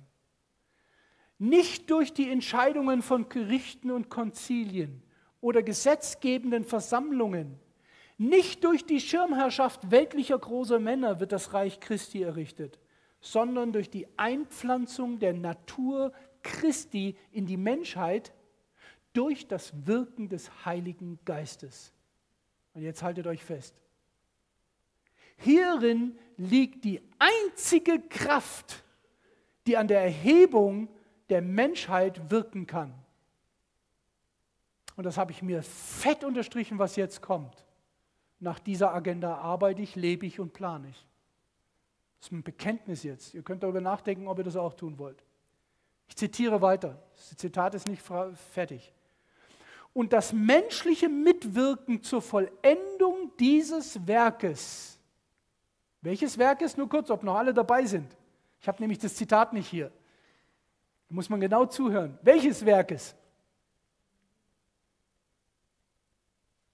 Nicht durch Konzilien, Gerichten und so weiter wird das Reich Gottes errichtet. Es geht um das Reich Gottes, das Abschlusswerk, dass Jesus wiederkommen kann. Das Werk, das der Geist dass die Natur Christi, ich zitiere, in die Menschheit eingepflanzt wird durch das Wirken des Heiligen Geistes. Das Werk. Verstehen wir? Und das menschliche Mitwirken zur Vollendung dieses Werkes ist das Lehren und das Praktizieren des Wortes Gottes. Punkt. Zitat Ende. Was kannst du und ich tun? Jetzt. Wie viele Plakate werden die Leute verändern? Wie viele Fäuste und Parolen wird die Natur Jesu in die Menschen einpflanzen? Nichts dergleichen. Du hast nur eine Möglichkeit, was du tun kannst, laut Inspiration.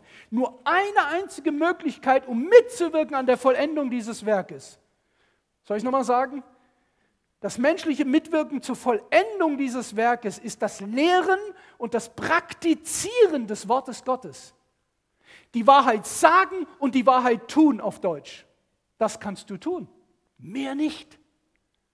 Du kannst nicht momentan mehr tun. Lehre die Wahrheit, wie sie in Christus ist. Nicht wie wir sie gerne interpretieren wollen, sondern wie diese Schrift, wie hin zur Schrift und hin, zur, hin zum Gesetz und hin zum Zeugnis, Jesaja 8,20. Werden Sie das nicht sagen, wird Ihnen kein Morgenrot scheinen. Das sind unsere Quellen, die beiden Zeugen. Gottes Wille, sein Gesetz ist ein Licht in der Finsternis. Und die Prophetie, der Geist der Weissagung, ist ein Licht in der Finsternis. Wir haben das biblisch, haben wir das verankert. Psalm 119, dein Wort ist meines Fußes Leuchte. 2. Petrus 1, 19. Umso fester haben wir das prophetische Wort und ihr tut gut daran, dass ihr darauf achtet, als auf ein Licht, das da scheint an einem finsteren Ort. Wir haben das Gesetz und wir haben den Geist der Weissagung so was Eigenartiges, dass das genau die zwei Erkennungsmerkmale sind in Offenbarung 12 von den übrigen vor der Wiederkunft. Die da halten die Gebote Gottes und haben das Zeugnis Jesu.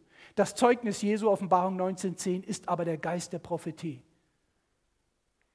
Das ist kein Zufall. Das ist, was wir tun können, Geschwister. Und das tue ich momentan mit ganzem Herzen, weil ich weiß, das ist das Beste und das Einzige, was ich tun kann. Und das ist das Gleiche für dich. Du musst kein Prediger, Evangelist sein. Lehre die Wahrheit, lehre das Wort Gottes und handle danach. Und dann wird nämlich Gott Wunder tun. Das liegt nämlich nicht an dir und an mir. Wie toll wir reden können, in welcher Sprache, in welchem Dialekt, sind wir rhetorisch gut oder sind wir schlecht, das interessiert Gott gar nicht. Gott kann sich verherrlichen durch den Mund eines Kindes oder durch jemanden, der stottert. Ich kenne einen Geschäftsmann aus Brasilien, ich habe den kennengelernt durch eine Sendung von Mark Finlay, die hieß It is Written vor ein paar Jahren, habe mir das runtergeladen. Und die Sendung hieß, und was ist dein Problem? Der Mann hat Sauerstoffmangel gehabt bei der Geburtsprozess, ist behindert geworden und der ist jetzt so und kann nicht richtig sprechen, der redet nur so. Und man versteht sowieso schlecht seinen Akzent, aber dann noch mit diesem Behinderung, man versteht ihn ganz schwierig, also wirklich einzelne Wörter, wenn man es nicht gewohnt ist. Dieser Mann ist Bauarbeit, Bauunternehmer und er füllt Hallen mit 5.000 und 6.000 Menschen drin. Er hat Tausende zu Christus geführt zur Taufe. Also erklär mir, wie das funktioniert. Weil Gottes Kraft in den Schwachen mächtig ist. Lass dir an meiner Gnade genügen. Wenn wir unsere Pflicht tun, Gottes Wort gehorchen und es lehren, ist alles, was wir tun können. Der Rest wird Gott machen. Gott wird dein Zeugnis, dein Leben, deine Zeugnisse, deine Erfahrungen, wenn sie ehrlich und aufrichtig sind, wird er benutzen. Deinen Mund wird er benutzen, deine Taten, deine Zeugnis, dein lebendiges Zeugnis wird er nützen, dass Menschen Wegweisungen haben auf ihrem Weg. Und das ist nicht reduziert auf Prediger oder Evangelisten. Das ist der Plan für jeden Nachfolger Jesu. Also, als Johannes seinen Dienst begann, befand sich das ganze Volk in einem Zustand der Erregung und der Unzufriedenheit. Aufruhr gegen die Römer. Das war die Stimmung. Wir haben die Nase voll von den Römern. Bis hier. Seht ihr Parallelen zu heute? Ich schon. Und jetzt ein unfassbares Zitat. Würde es das nicht geben, würde ich nicht glauben, dass es da steht. Leben Jesu 87. Seite 87. Hört mal. Inmitten von Zwietracht und Streit erscholl eine Stimme aus der Wüste. Sie spricht hier über Johannes den Täufer. Erscholl eine Stimme aus der Wüste, aufsehenerregend, ernst, aber voller Hoffnung. Was war seine Botschaft? Tut Buße, denn das Himmelreich ist nahe beigekommen. Ist das nicht die Kernbotschaft, die wir haben? Jesus kommt bald wieder. Kehrt um. Macht euch Gedanken über euer Leben. Das versteht jeder, ob er Atheist, Muslim oder ob er, ob er äh, weiß ich nicht was ist. Das versteht jeder. Leute, Jesus hat versprochen, wiederzukommen. Wir sehen die Zeichen der Zeit. Es ist besser, du bereitest dich darauf vor. Ist das schwierig? Was muss ich gelernt haben? Wie viele Seminare und Schulungen muss ich durchlaufen haben, um das sagen zu können, Menschen?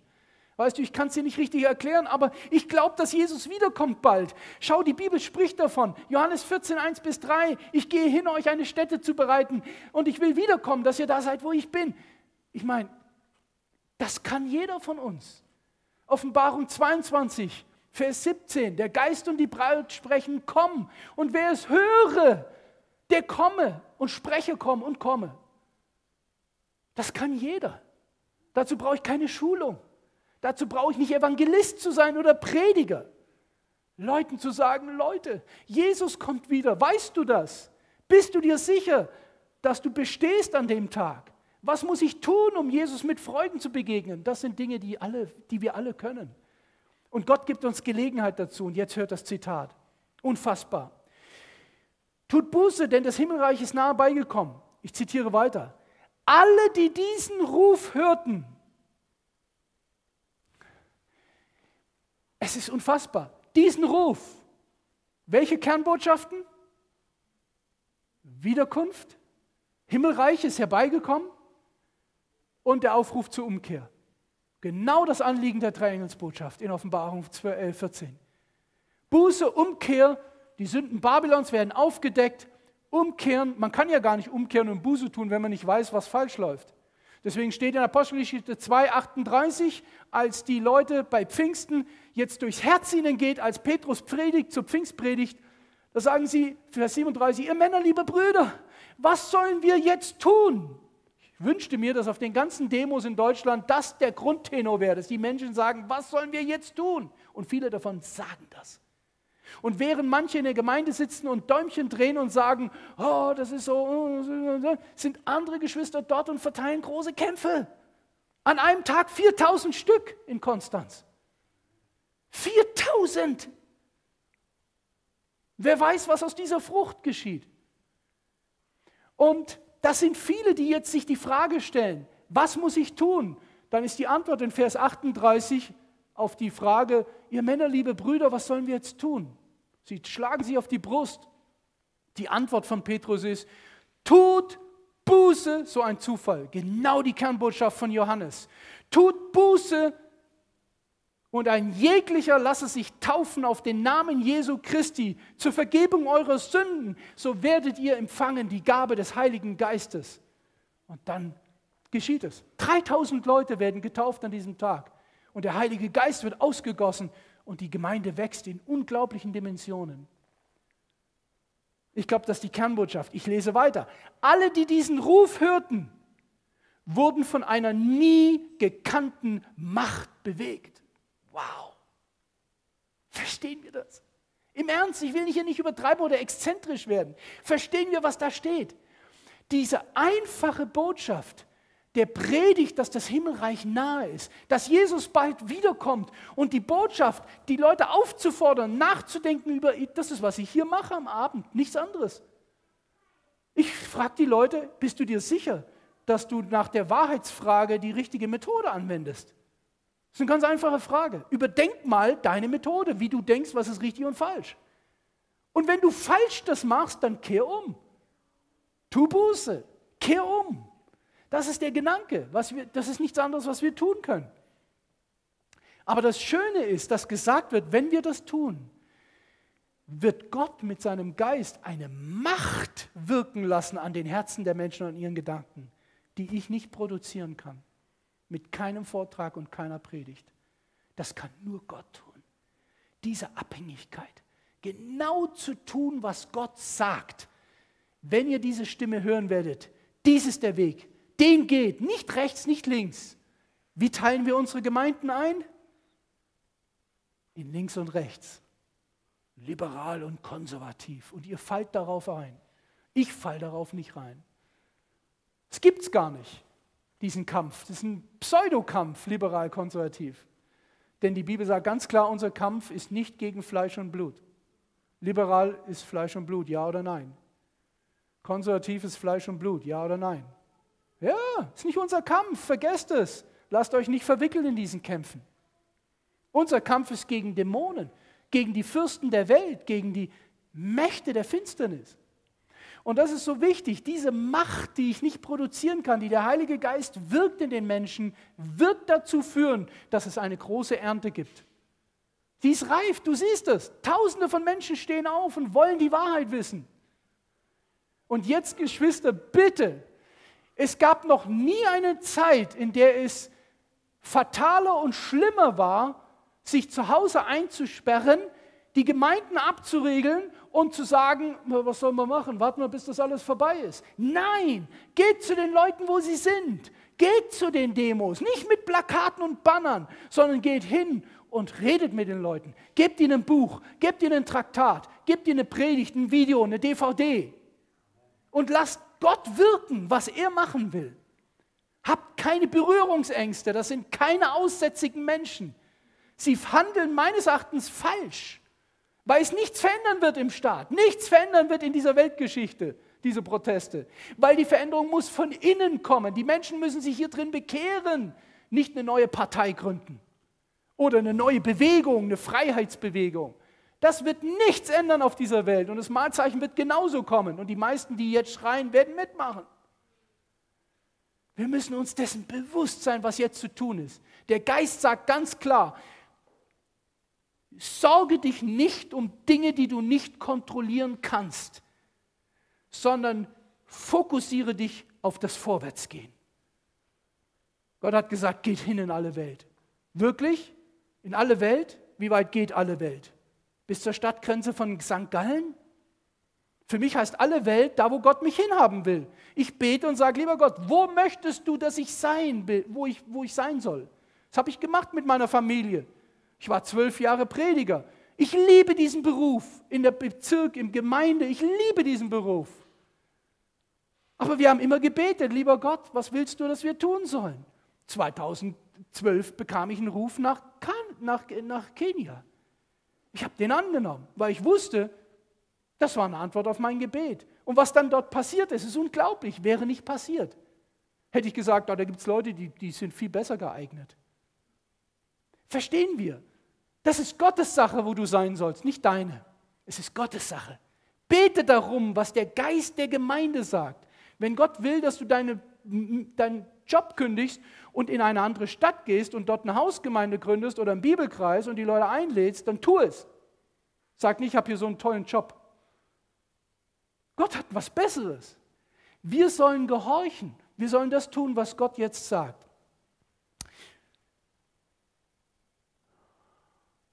Wir landen.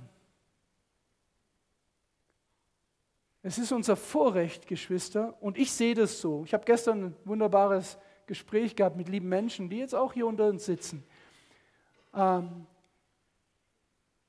ich weiß nicht, wie es dir geht, aber ich sage dir ganz offen, ich betrachte es als ein Vorrecht, Adventist zu sein in dieser Zeit. Für mich ist das ein Vorrecht. Ich sehe das nicht als selbstverständlich an.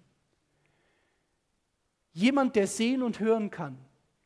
Aber Adventist sein heißt nicht automatisch, dass ich sehen und hören kann, nur weil ich ein Adventist bin und mein Mitglied, Mitgliedsname irgendwo in der Liste steht. Ich fange an zu sehen und zu hören, weil der Geist Gottes mich führt und leitet. Und wenn das nicht der Fall ist, dann kann mein Name noch so sehr auf einer Mitgliederliste stehen. Es ist besser, er steht im Lebensbuch als in einer Mitgliedsliste. Und das ist wichtig.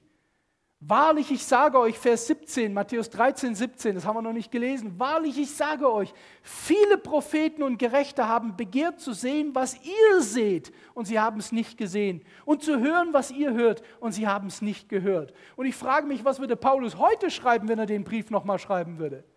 der würde sich überschlagen an den Dingen, wo er sagen wird, ja Wahnsinn, was heute geschieht, was ihr seht und hört. Leute, Jesus kommt. Nicht mehr hier. Jesus kommt. Leute, ich habe vor zwei Tagen am 22.10.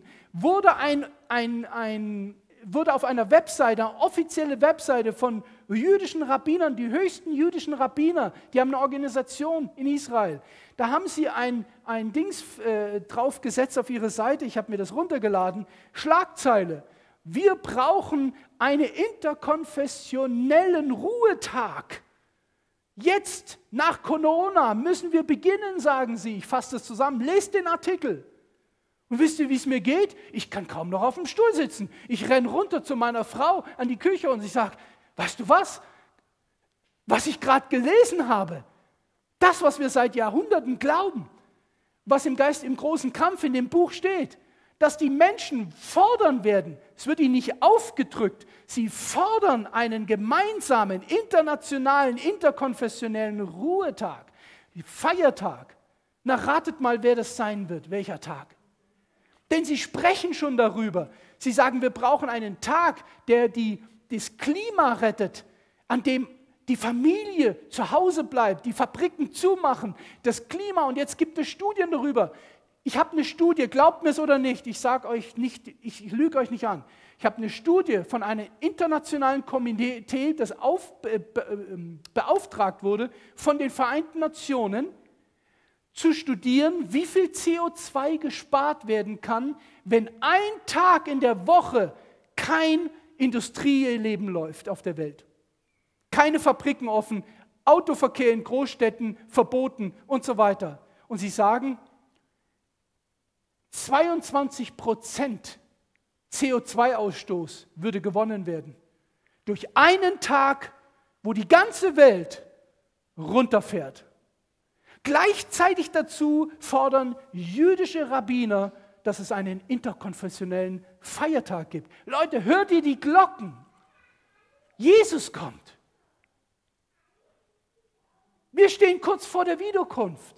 Und jetzt geht es nicht darum, dass wir uns beeindrucken lassen durch irgendwelche Parolen und durch irgendwelche Agendas, die mir egal welcher Staat das hat. Es geht darum, was sagt jetzt Gottes Geist der Gemeinde, was zu tun ist. Und das, was wir jetzt zu tun haben, ist, ich könnte es jetzt wiederholen, ich habe es mittlerweile auswendig. Was sollen wir tun? Was ist das einzige menschliche Mitwirken zur Vollendung des Werkes? Lehren und Praktizieren des Wortes Gottes. Das ist, was gehört. Bekehrte Gemeindeglieder, bekehrte Gemeindeleiter, bekehrte Prediger, bekehrte Brüder und Schwestern, bekehrte Jugendliche, die tun, was sie glauben und nicht nur reden. Das ist, was jetzt passieren muss. Wenn das passiert, wird Gott mit einer übernatürlichen Macht Licht auf uns scheinen lassen. Das ist eine Prophezeiung in Jesaja 60 und eine Prophezeiung in Jesaja 58. Über dir wird aufgehen die Herrlichkeit des Herrn und die Völker werden es sehen und werden zu dir strömen. Aber Gott kann dieses Licht nicht so leuchten lassen. Weil wir reden, machen, Parteien und dieses und das und jenes, Black Lives Matters und Grünes und das und Leute, vergesst das, das ist alles Ablenkungsprogramm von der Kernaufgabe, die wir momentan haben. Den Menschen die Wahrheit zu sagen und ihnen vorzuleben, zu tun, was die Bibel sagt, nicht nur darüber zu reden. Beides. Und deswegen sehe ich es als ein Vorrecht in dieser Zeit, jetzt Adventist zu sein. Denn wir haben einen Auftrag. Wir haben einen Auftrag, den wir nicht uns selbst gegeben haben. Und ich schließe mit dem letzten Zitat. Wer wissen will, wo es ist und nachlesen will, das müsste hier Zeugnisse 8, 75 sein. Auf der Gemeinde ruht eine ernste Verantwortung. Gott erwartet viel von der Gemeinde und der Jugend, da sie in einer Zeit größeren Lichtes und zunehmender Erkenntnis leben. Sie, also die Gemeinde und die Jugend, ist berufen, dieses Licht und Wissen auszubreiten. Sie soll Irrtum und Aberglauben aufdecken. Nur für diejenigen, die sagen, nee, wir müssen immer ruhig halten, bloß nicht sagen, was falsch ist. Falsch. Selbst die Bibel sagt, habt keine Gemeinschaft mit der Finsternis, sondern deckt sie vielmehr auf. Aber Finsternis aufdecken geschieht wie am besten? Sagt mir es wie. Wie kann man Finsternis, wo kann man eine Ecke, die da modert im Finsteren, wo der Müll liegt und wo das eklige verborgen ist, was keiner sieht, keiner auffällt. Wie kann man das aufdecken am besten? Durch Licht. Wenn du Licht bist, mache dich auf, werde Licht. Jesaja 60. Ihr seid das Licht der Welt. Das Licht kann nicht verborgen bleiben, sagt Jesus, wenn es auf einem Berg steht. Aber wenn es ins Tal geht, das Licht, was heißt es ins Tal? Ihr habt ja viele Berge hier. Was ist, wenn eine Stadt mit vielen Lichtern in einem Tal ist? siehst du nichts mehr. In Tal heißt, ich verstecke mich. Ich möchte nicht besonders sein, ich möchte auch nicht außergewöhnlich sein, ich möchte so sein wie alle.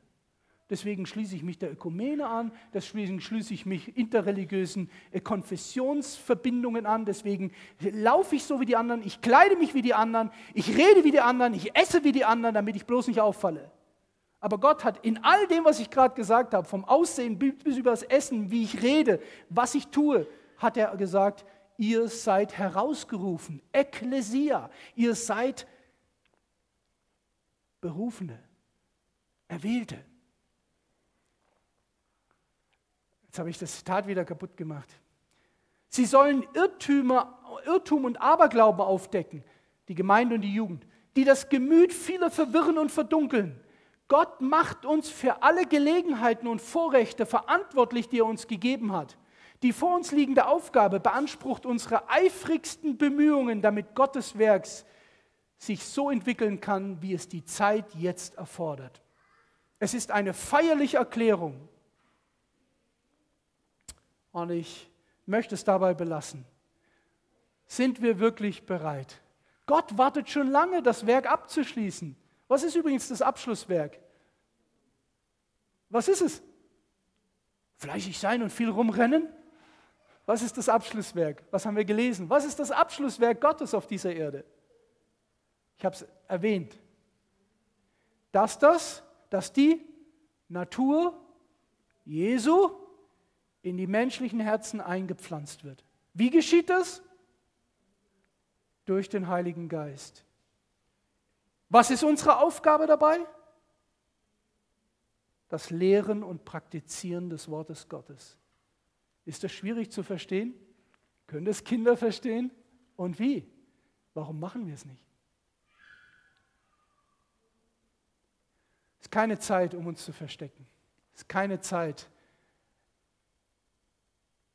die Bühne denen zu überlassen, die mit Plakaten und Transparenten und mit schwarzen Fäusten rumrennen. Das ist keine Zeit, denen die Bühne zu überlassen. Jetzt ist die Zeit, klug zu sein und genau das zu tun, was Gott möchte. Und in dem Sinne möchte ich mit den Worten schließen, die Gott diesem Michael Hinkson gesagt hat.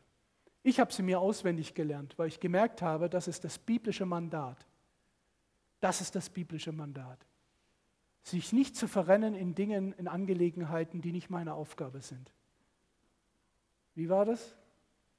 Was sagte Gott durch seinen Geist diesem Mann und hat ihn dadurch das Leben gerettet? In Chaos und Terror? Mach dir keine Sorgen über das, was du nicht kontrollieren kannst.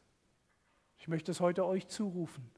Mach dir keine Sorgen um das, was du nicht kontrollieren kannst, sondern konzentriere dich auf das Vorwärtsgehen. Gib das Wort weiter. Sei ein lebendiger Zeuge. Sei Licht in der Finsternis. Sei gehorsam dem Wort Gottes. Und er wird dich benutzen als Werkzeug, das Licht bringt in deine Umwelt, in deine, in deine ja, Umgebung. Das ist mein Wunsch. Das ist mein Gebet jeden Tag, dass, ja, dass wir das tun. Die Zeit ist reif, Jesus kommt wieder und ich habe keinen Zweifel daran, dass es nicht mehr lang dauert. Keinen Zweifel. Und ich glaube, dass es viel schneller passieren wird, als wir ahnen. Es ist kein loses Geschwätz. Ich könnte darüber Vortragsreihe halten, warum ich das glaube. Aber das ändert nichts daran, dass wir es selber studieren müssen. Wir müssen jetzt selber die Nase reinstecken und am besten nicht ins Handy, auch wenn ihr eine Bibel drauf habt. Ich sage euch warum. Noch zum Abschluss. Wenn ihr eure Bibel nehmt, ich mache das auch manchmal, wenn schnell gehen muss. Zack, zack, zack, zack, schnell hast du den Bibeltext. Aber wenn ihr richtig tief studiert, andächtig studiert, legt das Ding weg, nehmt eine Papierbibel. Wisst ihr warum? Weil hier drin keine Apps zu finden sind mit Bildern drauf und Videos. Da kann kein Telefon klingeln hier drin. Da kann kein Chat-Anruf, Klopfen kommen, nichts. Nichts. Ihr habt nur das Wort, nichts anderes. Also ich mache das, wenn ich wirklich abschalte, dann nehme ich nicht meine digitalen, dann nehme ich nur mein Schwert, mache ich auf und dann höre ich Gottes Stimme. Und das empfehle ich jedem. Und ich lade uns ein, dass wir gemeinsam ein Lied singen als Bekenntnis jetzt, bevor wir zusammen beten. Ich habe das bewusst ausgesucht, nicht einfach, na, was singen wir mal heute. Nehmt es als ein Gebet und als ein Bekenntnis. Es ist so erbauend und ich wünschte mir, dass es jetzt in unserer Zeit sich erfüllt, was wir jetzt singen zusammen. Und ich lade euch dazu ein. Ja, exakt. ist da unten.